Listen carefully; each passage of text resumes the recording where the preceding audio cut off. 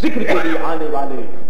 खुदा को याद करने के लिए आने वालों, भाइयों, बहनों, प्यारे भाइयों, प्यारी बहनों, अज़ीज़ नौजवानों, हदीस सुनो। अल्लाह अल्लाह, दिल की दुनिया बेदार हो रही है। ईमान के बाद में बाप बहार आ रहा है। अल्लाह अल्लाह, खुदा की रहमत का हो रहा है। हज़रत अली रजा। कौन है? हज़रत मूसा काजिम रज़ी अल्लाह तु के साहबजादे, हज़रत इमाम जाफ़र सादिक रज़ी अल्लाह तु के पोते। अल्लाह अल्लाह मनो कस्त दामान आले रसूल। अल्लाह अल्लाह, आले रसूल का ज़िक्र कर रहा हूँ।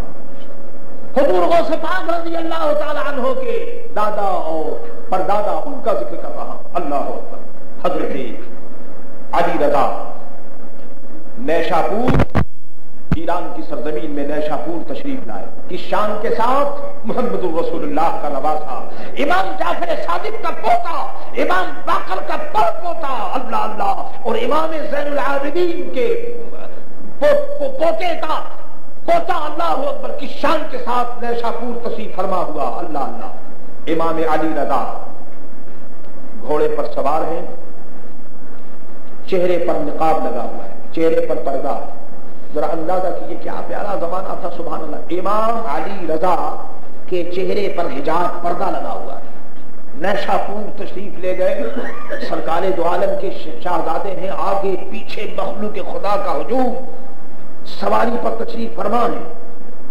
नैशापुर के मुहदस बड़े बड़े मुहदस अपने तुलबा को ओलामा को मशायक को लेकर हाजिर हो गए ए नवास रसूल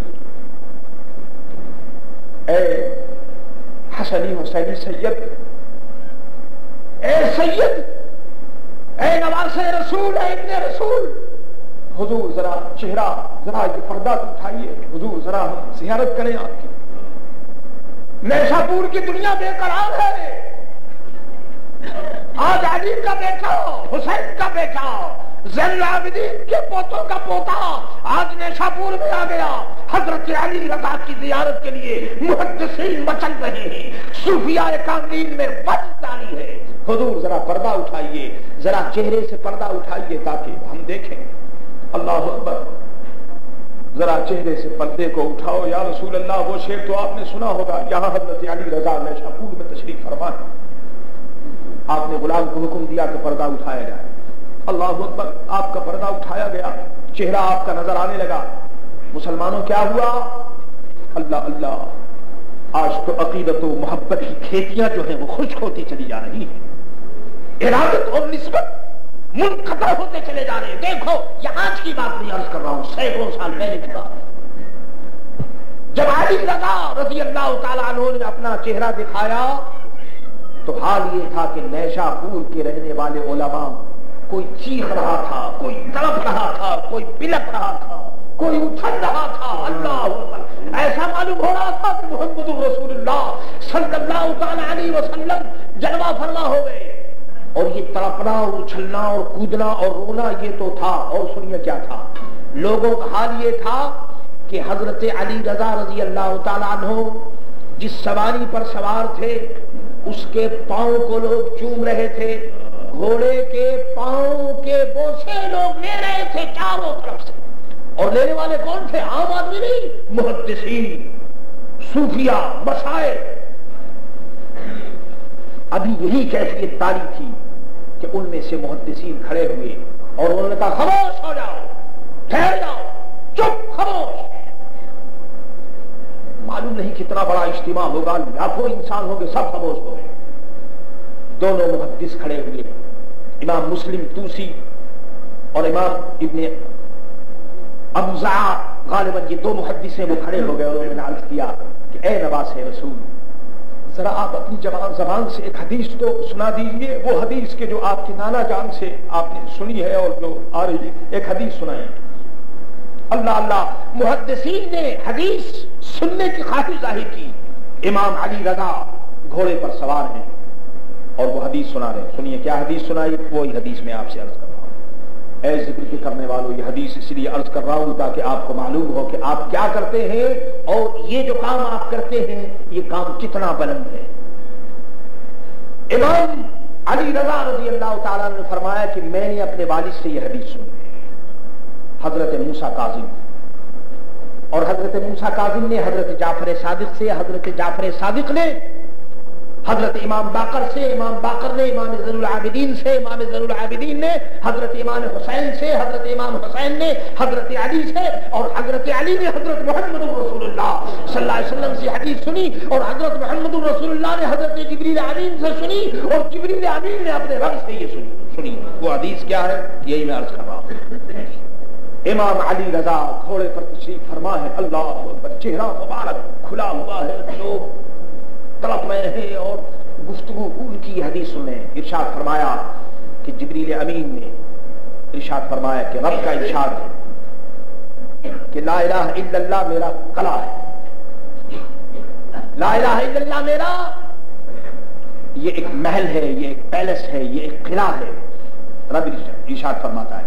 और जिस शख्स ने ला इल्लल्लाह पढ़ लिया, वो इस किले में दाखिल हो लाया का पढ़ने वाला अल्लाह की सेफ्टी में आ जाता इस किले में वो दाखिल हो गया।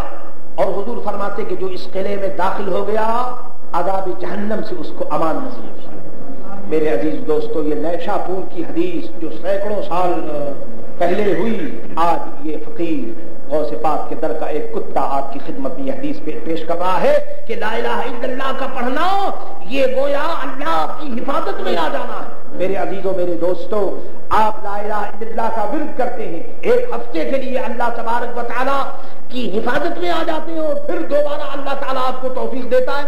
तो फरमाया कि ये किला है और जिसने ला इला पढ़ लिया, गोया वो किले में दाखिल हो गया और इस तरह से अदाब जहन्नम से वो मामून हो गया। ये तो हदीस आपने सुनी, अब सुनिए। ये जो मुहदसिन जो हदीस सुन रहे थे, वो सुन रहे थे तो वो तो होंगे। ये जो लिख रहे थे दावात और कलम लेकर उनकी तादाद क्या थी ये सुनिए ये सुनने की बात है। आज तो मेरे दोस्तों कौन बात सुनता है? मस्जिद में आने वाले भी बस ये दो चार आहिस्ता आहिस्ता, ये भी जौ खत्म होता चला जाए। अल्लाह इमाम अली रजा रज़ी अल्लाह तु की इस हदीस को लिखने वाले, जब यह हदीस उन्होंने बयान की तो देखा गया कि लिखने वाले कितने तो मुअल्लिफ और मुहदस का यह फैसला है कि जब उन्होंने लिखने वालों को देखा तो लिखने वालों की तादाद बीस हज़ार थी। अब आप बताइए, बीस हज़ार ये कौन लोग थे? मुहदसिन थे। बताइए कि जिनके इरशाद को लिखने वाले बीस हज़ार होंगे तो सुनने वाले कितने होंगे? मेरे दोस्तों, ये है मेरे आका हज़रत मोहम्मद मुस्तफ़ा सल्लल्लाहु अलैहि वसल्लम का फैदान कि आज जो हदीसें हम तक पहुँची हैं ये ये बीस बीस हज़ार एक एक हदीस को लिखने वाले थे। आज हज़ारों हदीसें बयान होती हैं। अल्लाह ताला हमें इन हदीसों को याद रखने और इस पे अमल करने की तोहफी खता फरमाए। तो मेरे दोस्तों तैयार हो जाओ और अर्ज़ करो बिस्मिल्ला बिस्मिल्ला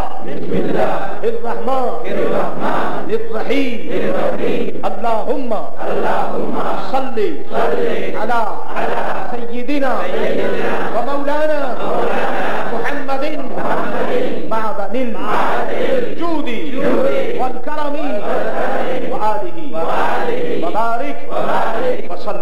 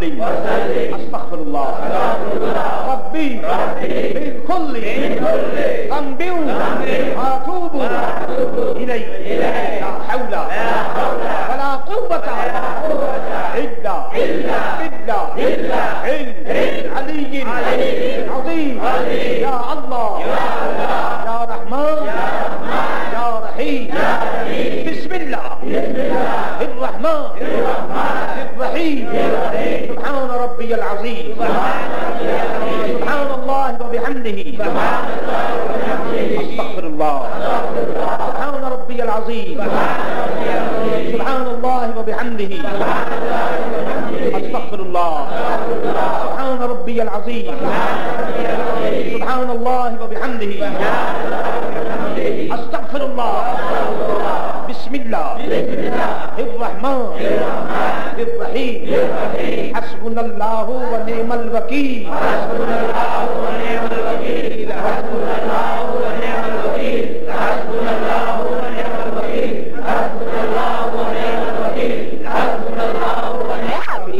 सिफात ने आपको ये वजीफा अदा फरमाया। हसबुल्लामन वकील। इसमें ताकत भी है, इसमें सेहती भी है, इसमें कुत भी है, इसमें अमन भी है, इसमें गारंटी भी है, इसमें भरोसा भी है, इसमें एतनाद भी है। बुज़ुर्गों से बात फरमाते हैं इसमें आदम के तलाश करने वाले यही तो इसमें आदम है हसबुल्लामन वकील। हसबुल्लामल वकील ए शहनशाह बगदाद, हमने आपके बताए हुए तरीके पर अमल किया आका, हम गुनहगार हैं, हमारी जबान इस काबिल नहीं। आका, हम आपके दामन से, आपके वसीले से दुआ करते कि हसबुल्लाह वकील का साया हर मुसलमान के सर पर नहीं। इनको जमीनी और आसमानी परेशानियों से बचा। इनको इनकी आने वाली नस्लों को दीन पर चला। इन सबको सच्चा और पक्का मुसलमान करा। वकील आपने पढ़ा। अब आइए इमाम अली रजा रज़ी अल्लाह ने फरमाया कि ला इलाहा इल्लल्लाह ये कला है तो मुसलमानों इस कले में दाखिल हो जाओ।